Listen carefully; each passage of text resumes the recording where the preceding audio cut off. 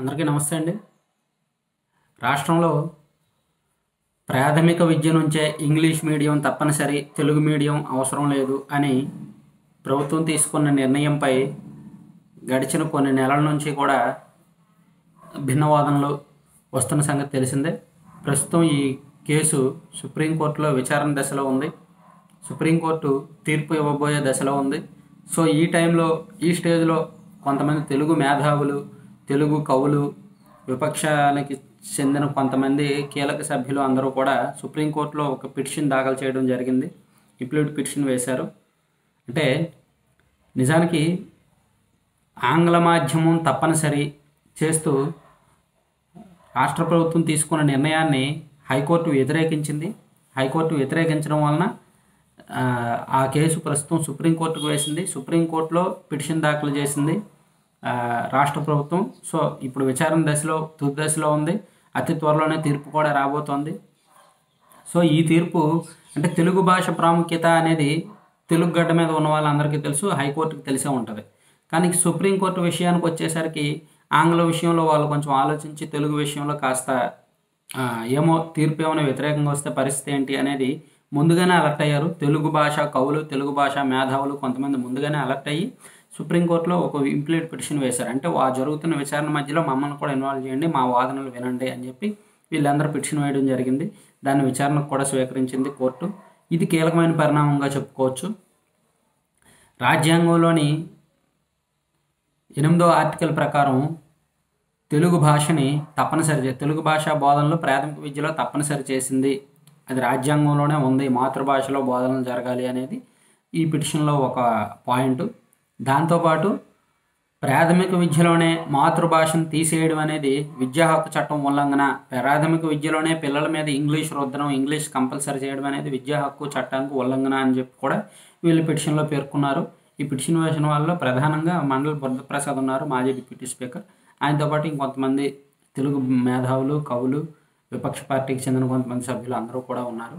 So ఇది విచారణకు తీ తీసుకున్నారు కాబట్టి ఏం జరుగుతుంది తీర్పు ఏం రాబోతుంది అనేది మనం చెప్పుకోవచ్చు. కానీ కొన్ని పాయింట్లు ఇంగ్లీష్ మీడియం అలాగే టాపిక్ వచ్చింది కాబట్టి కొన్ని కీలకమైన పాయింట్లు చెప్పుకోవాలి. సరే ప్రాథమిక విద్య ప్రాథమిక దశలోనే ఇంగ్లీష్ తప్పనిసరి చేశారు. అప్పుడు తెలుగు రాయడం తెలుగు చదవడం తెలుగు మాట్లాడడం అంటే ఎలాగ మాట్లాడతారు? మాతృభాషలో పుట్టారు కాబట్టి ఇళ్ళలో తెలుగే మాట్లాడతారు కాబట్టి తెలుగులో మాట్లాడడం వచ్చేస్తుంది. కానీ రాయడం చదవడం మాత్రం రాదు. మాతృభాషని పక్కన పెట్టి ఇంగ్లీష్ మీడియాన్ని ప్రాథమిక విద్యలో ప్రవేశపెట్టడం వలన ఇంగ్లీష్ రాయగలరు చదవగలరు పెద్దయ్యాక మాట్లాడగలరు. కానీ చిన్నప్పటి నుంచి మాట్లాడిన తెలుగు రాయలేరు చదవలేరు. అది అది అతిపెద్ద ప్రమాదం. ఇంగ్లీష్ మాట్లాడాలి. సో జాతీయ స్థాయిలో ఖ్యాతి తెలుగు విద్యార్థులు అంటే ఆంధ్రప్రదేశ్ రాష్ట్రంలో పిల్లలు అంటే జాతీయ స్థాయిలో పేరు ప్రఖ్యాతులు ఉండాలి. ఇంటర్నేషనల్ ఏ దేశానికి వెళ్ళినా సరే ఇంగ్లీష్ అనర్గంగా మాట్లాడాలి. వాళ్ళకి నైపుణ్యాభివృద్ధి ఉంటుంది. వాళ్ళు ఉద్యోగాలు ఉపాధి పొందుకోగలరు. ఇంటర్నేషనల్ అంతర్జాతీయ భాష నేర్చుకుంటే అనే ఉద్దేశం ప్రభుత్వ ఉద్దేశం మంచిదే. కానీ దీనివల్ల ఉన్న నష్టాలు ప్రభుత్వం గ్రహించకపోవడం ఇక్కడ వచ్చింది. ప్రాథమిక దశలో ఆంగ్ల మాధ్యమాన్ని రుద్దడం వలన తెలుగు రాయడము అక్షరాలు రాయడము తెలుగు చదవడము అనేది మర్చిపోతారు. అది ఒక పెద్ద ప్రమాదం. దాంతోపాటు ఆంగ్ల మాధ్యమం ప్రవేశపెడితే ప్రవేశపెడతారు. దానికి బోధనలకు అవసరమైన ఉపాధ్యాయులు ఉన్నారా? ఉపాధ్యాయుల్లో ఆ స్కిల్ ఉందా? ప్రభుత్వ ఉపాధ్యాయుల్లో ప్రభుత్వ బడుల్లో ఇంగ్లీష్ చెప్తున్న ఉపాధ్యాయుల్లో హండ్రెడ్ నూటికి నూరు పాళ్ళు ఫ్లూయెన్సీ ఎంతమందికి ఉంది? ప్రభుత్వ ఉపాధ్యాయుల్లో ఇప్పుడు ఇంగ్లీష్ మీడియం మా ఇంగ్లీష్ మీడియం కాకుండా తెలుగు మీడియం బడుల్లో ఇంగ్లీష్ సబ్జెక్ట్ బోధిస్తున్న ఉపాధ్యాయులులో ఈ సబ్జెక్టు పూర్తి హండ్రెడ్ పర్సెంట్ ఫ్లూయెన్సీ ఎంతమందికి ఉంది ఒకటో పాయింట్ అయితే అదనంగా చాలామంది అవసరం అవుతారు ఉపాధ్యాయులు.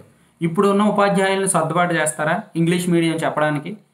ఈ ఉపాధ్యాయులకి ఎంతవరకు ఉంటుంది? ఇంగ్లీష్ భాష ప్రావీణ్యం ఎంతవరకు ఉంటుంది? లేదు ఇవన్నీ కాకపోతే కొత్తగా ఓన్లీ ఇంగ్లీష్ కోసం కొత్తగా ఉపాధ్యాయులు రిక్రూట్ చేస్తారా? ప్రతి స్కూల్కి ఒక్కొక్కరిని పెడతారా? అలా పెడితే లక్షల మంది అవసరం అవుతారు ఇప్పుడున్న ఆర్థిక కష్టాలకి వేతన సర్దుబాట్లు లేకపోవడానికి ఇంత ఇబ్బందులకు అది ఒక ప్రత్యేకమైన ఇబ్బంది కాదా ఇప్పుడు ఉన్న వాళ్ళని సర్దుబాటు చేయాలంటే వాళ్ళకి ఇంగ్లీష్ వచ్చి ఉండదు కొత్త వాళ్ళని ఇంగ్లీష్ వాళ్ళని తీసుకోవాలంటే ఆర్థిక కష్టాల వలన అది సాధ్యం కాదు. సో ఇది అంటే బోధనలకు ఉన్న ఇబ్బందులు ఆలోచించకుండా బో ఒకవేళ బోధిస్తే విద్యార్థులకు జరిగే నష్టాన్ని ఆలోచించకుండా తీసుకున్న నిర్ణయం ఇది. అందుకే తెలుగు భాష ప్రముఖులు మేధావులు అందరూ కూడా దీన్ని వ్యతిరేకించడం జరుగుతుంది. అయితే ప్రభుత్వ ఉద్దేశం ఇక్కడ తప్పడం కాదు. ప్రభుత్వ ఉద్దేశం హండ్రెడ్ నూటికి నూరు పాళ్ళు మంచిది. ప్రభుత్వ ఉద్దేశం. ఎందుకంటే తెలుగు పిల్లలు ఇంగ్లీష్ నేర్చుకోవాలి ఇంగ్లీష్లో ఫ్లూయెన్సీ సాధించాలి మంచి ఉద్యోగాలు ఉపాధి అవకాశాలు వెతుక్కోవాలి నైపుణ్యం ఉండాలి అనేది ప్రభుత్వ ఉద్దేశం. కానీ దానివల్ల జరుగుతున్న నష్టాన్ని సవాళ్ళను ఆలోచించకపోవడమే ఇక్కడ పెద్ద సమస్య.